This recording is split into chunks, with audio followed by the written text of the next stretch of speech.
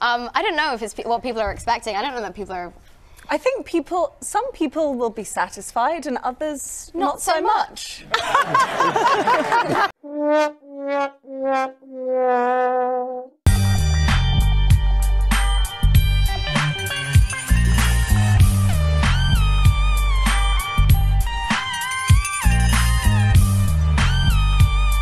Hello, everyone. Welcome back. Today, we will be going through the Inside the Episode documentary of Game of Thrones Season 8, Episode 5, and responding point by point to the staggering amount of lunacy spewing from the mouth of these two idiots. Seriously, while watching this, not only did I lose many, many, many brain cells, but I almost denounced my faith in humanity in common fucking sense. And you will soon see why. Now, full spoiler warning for Game of Thrones for this episode, you have been warned. But before we go on, let's quickly go over why this episode is so hated. It's not because our expectations were subverted, it's because characters and their arcs were completely disregarded or betrayed. Massive gaps in character development were missing, and the teasers from earlier episodes were just that. They were teasers. The development of Daenerys Targaryen never suggested that she would burn an entire city to the ground after her enemies had surrendered. And all the excuses the writers have cooked up to justify the choice to subvert the audience can only be considered laughable. But anyway, let's begin. There's something you need to know. Someone has betrayed me. Varys. He knows the truth about Jon. He does.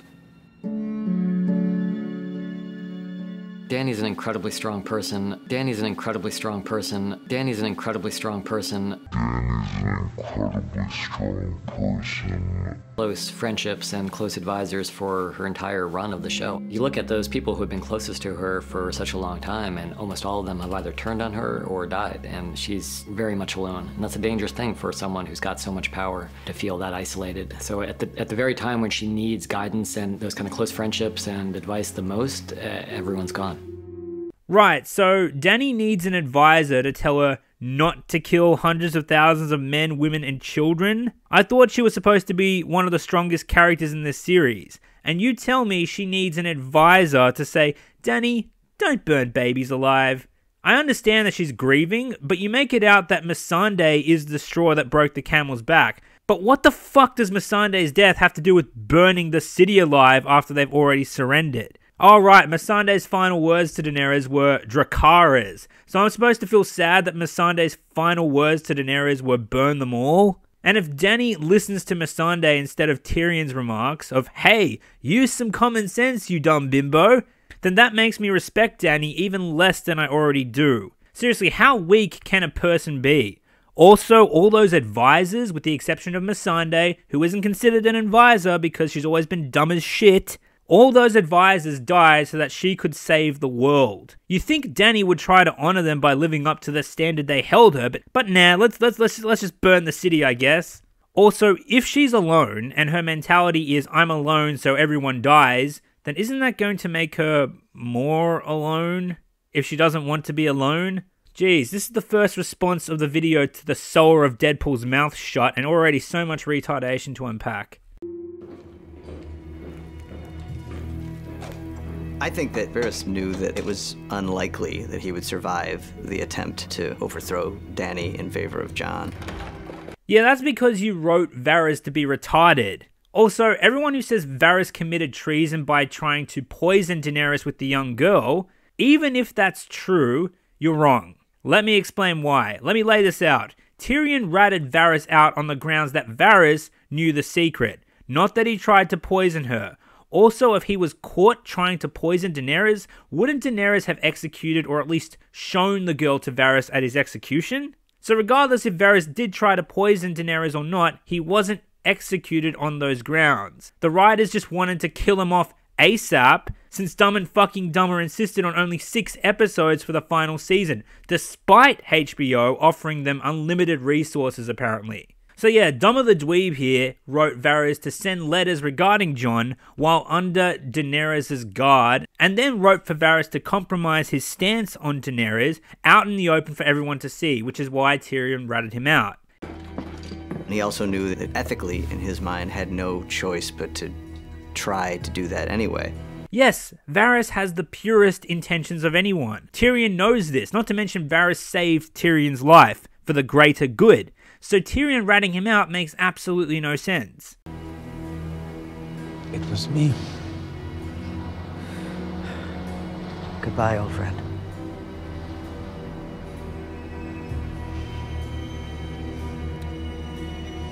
I think that Tyrion is saying goodbye to his best friend in the world outside of his brother. Really, you call that a goodbye? Three simple words? Three words that can be summed up as the easiest fucking dialogue to write? Gold star, you egg-headed fuck. How about a plea of mercy on Varys' behalf? How about Jon intervenes? How about some reasoning between Tyrion and Varys? Instead, we get three words and hand-holding. Does anyone need more proof that they were just trying to tick this box as fast as possible? Dracarys.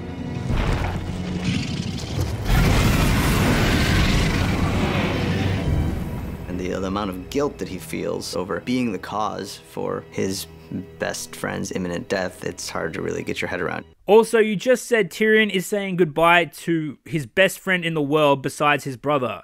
Again, so why would Tyrion rat out Varys exactly?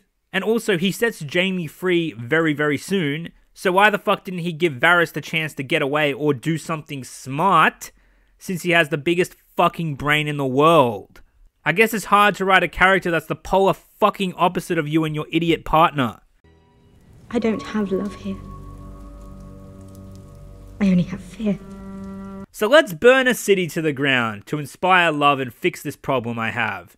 And hold up, Daenerys saved the Seven Kingdoms by fighting White Walkers. The entire North has seen this. So why would people fear her? Shouldn't they love her by now? If not King's Landing, then shouldn't all the other houses who assisted love her? You will always be my queen.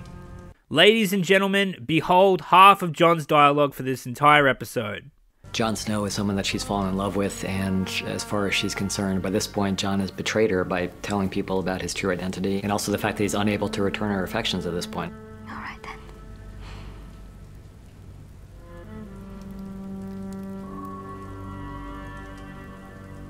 It be fair. So Jon refuses her incest, and because she gets so pissy about it, she's going to kill thousands of babies. Thousands of babies, you guys. Babies. Little frickin' babies. All because her nephew denied her some dick. Also, I just realized Dany's a fucking hypocrite. You do realize that she did the exact same thing to Ser Jorah for eight fucking seasons, right? Did I mention Ser Jorah dies for her thinking that he had just died for the savior of King's Landing? Also, maybe I could give a shit about Jon and Dany if you gave season 7 10 episodes to flush out their fucking relationship, you lazy, mopey prick. I think that when she says let it be fear, she's resigning herself to the fact that she may have to get things done in a way that isn't pleasant, and she may have to get things done in a way that is horrible to lots of people. Mercy is our strength. Our mercy towards future generations. He will never again be held hostage by a tyrant. She goes to kill the people who are currently being held hostage by a tyrant after they surrendered and there was no reason to. Must I say any more? She chose violence. A Targaryen choosing violence is a pretty terrifying thing. You chose to skip writing class? Even when you look back to season one, when Khal Drogo gives the Golden Crown to Viserys and her reaction on watching her brother's head melted off, He was no dragon. and he was a terrible brother, you know, so I don't think anyone out there was, was crying when Viserys died, but there is something kind of chilling about the way that Dany has responded to the death of her enemies. Yeah, her enemies, you dumb shit. Say it with me slowly. Her enemies. Not innocent women and children who have just surrendered, you asshat. Look, I'm sorry, I know tons of you hate it when I swear, but you saw the episode. Now you're watching this piece of shit documentary with me. Does anything non derogatory suit the stupidity of these two embarrassments for human beings? And if circumstances had been different, I don't think the side of Dany ever would have come out. If Cersei hadn't betrayed her, if Cersei hadn't executed Missandei, if Jon hadn't told her the truth, like if all these things had happened in any different way, then I don't think we'd be seeing this side of Daenerys Targaryen. I I don't think she decided ahead of time that she was going to do what she did. And then she sees the Red Keep, which is to her the home that her family built when they first came over to this country 300 years ago. It's in that moment on, on the walls of King's Landing when she's looking at that symbol of everything that was taken from her when she makes the decision to, to make this personal. So the Red Keep looked at her funny, and that's what made Daenerys snap? Gatorade.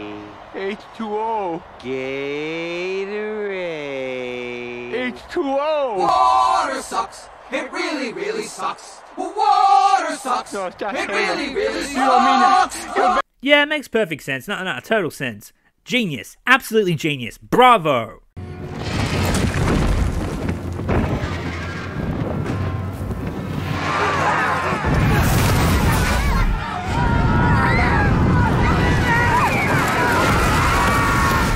Wanted her to be just death from above, as seen from the perspective of the people who are on the business end of that dragon. In most large stories like this, it seems like there's a tendency to focus on the heroic figures and their, and not pay much attention to the people who, who may be suffering from the repercussions of the decisions made by those heroic people. And we, we really wanted to keep our perspective and our, our sympathies on the ground at this moment because those are the people who are, are really paying the price for the decisions that she's making. Oh, mate, we were laughing the whole fucking time. You failed spectacularly in your goal. It's hard to care when you watch arguably the most important character in this entire series do something so fucking ludicrous. People say that this has been teased for many seasons, ever since season 2. Yeah, was teased, teased, that she could go mad, given the proper motivation. In season 7, she's defensive about the throne and her position of power, but is still adamant about helping people. She lets soldiers surrender and then burns them when they choose to defy her. She saves Jon from the White Walkers and parleys with Cersei for the greater good in season 7, and she fights alongside Jon against the White Walkers to save everyone. None of this suggests that Daenerys is willing to slaughter innocent people and infants. Absolutely none of it. Losing friends and advisors doesn't fucking change that because they never had to tell her, don't burn babies. Do you understand? Also, while writing this, I just remembered that the White Walkers were a thing. Gosh, that seems so long ago, doesn't it? Ladies and gentlemen, I give you Grey Worm the Murderer. I think that Jon is also in a kind of denial. At first, the siege is a war. Soldiers killing soldiers. That's what war is. I think Jon is someone who's always been a very good soldier who has never enjoyed being a soldier. He's been trained as, as a fighter from the time he was a little boy. He's quite good at it. He's quite good at leading men into battle, and he also hates it. I think for him, it all starts out seeming like it's gonna work out, and then it turns into a nightmare. Yeah, and he fully contributes to that nightmare until he decides, after what feels like eternity, to be like, hey, this is bad, let, us get out of the city. You turned him into Daenerys' whipping boy, and then you just have him standing there gawking like a brainless mice, just following the chaos until he realizes who the fuck raised him. It was this guy, by the way. When she takes off and starts burning the city, the Unsullied on the ground and the Northmen on the ground take that as their cue that it's a moral free for all. The good guys are behaving like the bad guys, and the bad guys in this shot are the ones who are doing all of these horrific things around him, who are his own men. The moral lines that he's drawn for himself in his own life—you can't be maintained for everyone in all situations. All I heard was, it's shocking, right? Are, are, you guys shocked yet? We like to shock you. Please tell us that you're shocked. And we were just like, well, after we held back our laughter, we were just like, meh, whatevs. I wonder what's on Netflix.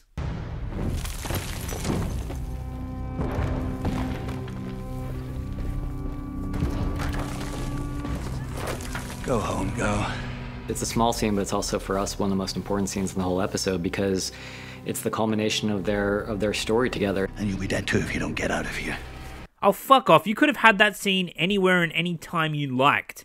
It just had to take place at Cersei's front door, didn't it? I can appreciate the scene for what it is and for what you tried to do, but again, it breaks all bounds of reason in order to happen. Arya has been waiting to kill Cersei since Ned's execution eight seasons ago. You really think she's gonna tuck tail and run when she could have just walked up the stairs and stabbed her? She rode all the way down from Winterfell. No, sorry, sorry. She teleported from Winterfell and walked through a King's Landing under siege to get to the Red Keep. She's not going to run away, you idiot. You should have had that scene at the King's Landing gates. I'm going to kill her. The road to vengeance always ends in one place, which is what the Hound is saying to her here. I've made my choice a long time ago, and this can only end in one possible way for me. But for you, you have so many other options. Look at me! You want to be like me? The Hound has genuinely come to have affection for Arya. I think he loves her as much as he's capable of loving someone, and he knows that if she comes with him at this point, she's not going to make it out of there. Sandor. Thank you.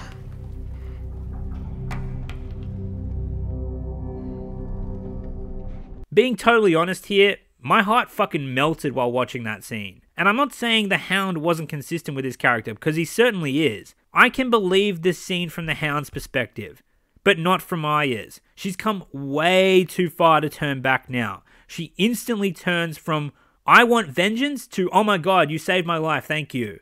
The acting is on point, sure, but the reasoning and writing behind it is retarded. This was a choice made for the highest emotional resonance without any sense of logic, and it plays into Arya's next sequence. Hello, big brother.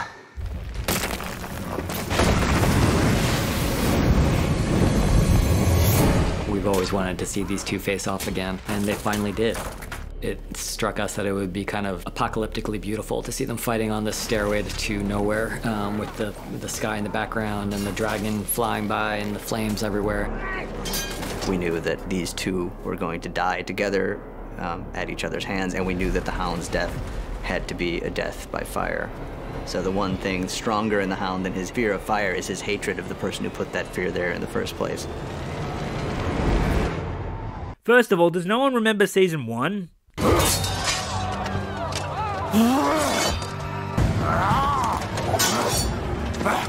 They already fought one another. It's glaringly obvious that this was set up to adhere to the memes and nothing more. If Hound really cared about vengeance this much, then why the fuck didn't he seek out the mountain at the earliest opportunity instead of building churches in season 6? And where the fuck was that courtyard full of chickens? If you're gonna pander to the memes, at least do it right.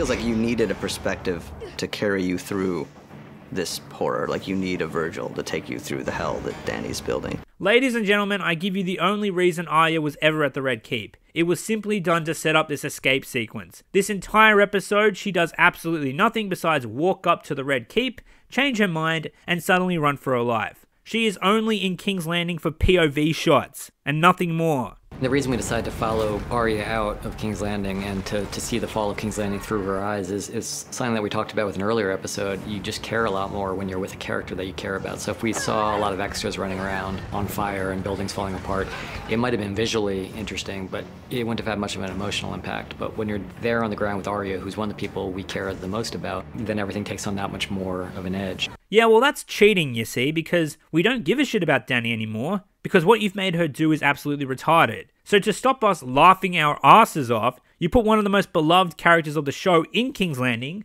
despite it not making any fucking sense, so the audience has to care. And make no mistake, the only reason I gave a shit about what was going on was because I'm heavily invested in Arya. But Arya should have never been there. And if she was, she should have done what she was built up to do for eight seasons, which is kill the queen. If she's not there to kill the queen, she's only there to look scared and run away. We knew that the Hound would be convincing her to part ways with him and to not go to her death. And once she decides she needs to get out of the city, well, she's in, she's in the worst possible place you can be. So she's got to get from that central point all the way outside the walls of the city. It's the longest, hardest journey anybody has to make in the entire episode.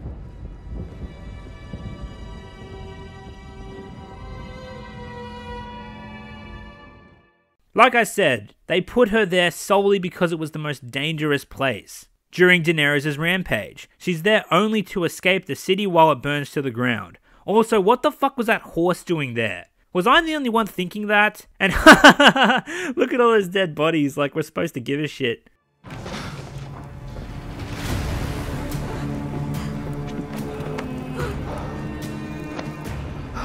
You know, there's a scene several years ago where Jaime and Bronn are talking about how they want to go, and Jaime's talking about dying in the arms of the woman he loves. And this is it. I think he knows that they belong together, that they came into this world together, that they need to go out of this world together. Yeah, except he left her at the end of season 7 because she's a monster and refused to help stop the dead from coming to kill her people. He slept with Brienne, someone he truly cares for, someone he knighted, someone who helped him regain his honor, and he just hits it and quits it? This makes no fucking sense. Also, I've had someone tell me in the comments that you can be addicted to someone if you're in love. Yes, that's absolutely true. But Jaime broke that addiction when he left King's Landing. I don't care what anyone says. Him going back to Cersei the way that these idiots wrote it makes absolutely no sense. Once he goes through the various exits and they're all clogged up with rubble and there's no way out and he knows there's no way out, he's just trying to calm down the woman he loves because he knows this is it. Look at me! Just look at me! Nothing else matters. Nothing else matters. Only us. I think Jaime, by the end of episode five, has come to terms with who he really is. And he may not be happy with who he really is, but he knows he's not. He knows what matters to him, and Cersei is what matters to him.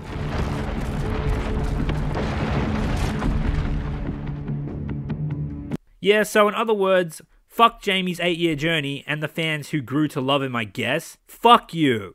Right, so that concludes the response. Honestly, this episode was such a damn shame. People keep saying that I just want to hate this episode because there's a bandwagon for it and that I'm blatantly ignoring stuff like CinemaSins does. Now, if you're one of those people saying that, then, well, first of all, fuck you. And second, nothing could be further from the truth. Why would I want to hate something I've been invested in for years? A show I used to watch on repeat. A show I used to procrastinate at university in order to watch. Why would I want this piece of art that started so great, this piece of art that I loved, why would I want it to turn bad? The simple answer is I don't, and never did. But well, here we are. And you want to know what honestly fucking infuriates me?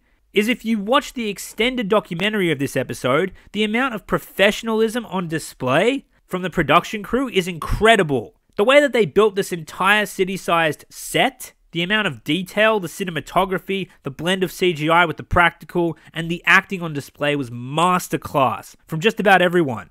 There is so much to praise about this episode. The cast and crew should be fucking proud of themselves. Seeing how much technical work went into this blew my mind, and it should definitely be commended. However, none of that matters because none of that can be taken seriously, and nobody is going to care if the writing is bad. Why would I care about the spectacle I'm watching if I see people teleporting, if I see characters betraying who they are at their foundation, if I see plot armor that protects a young girl from being scorched by dragonfire, and if I see giant plot holes that turn the story into a joke? If you can see through all the bullshit and enjoy this episode, I'm genuinely happy for you. But the writing is the most important part of any television series because if that fails, then everything else fails with it. Writing is the foundation. If the foundation is broken, then everything else collapses. And that is Game of Thrones Season 8, Episode 5 in a nutshell. I wanted to respond to this documentary because upon watching it, I couldn't believe the stupidity in the thought process of writing this. When I call these two Dumb and Dumber or the worst writers in history, I'm not being hyperbolic. I believe those words because I have nothing more incompetent to compare it to. Though I will admit, Rian Johnson is a close second. And well, now, much like Sansa Stark, Star Wars just got over one horrifying ordeal, and now it's going to have to face another. Thank you all for watching, and I'll see you next time.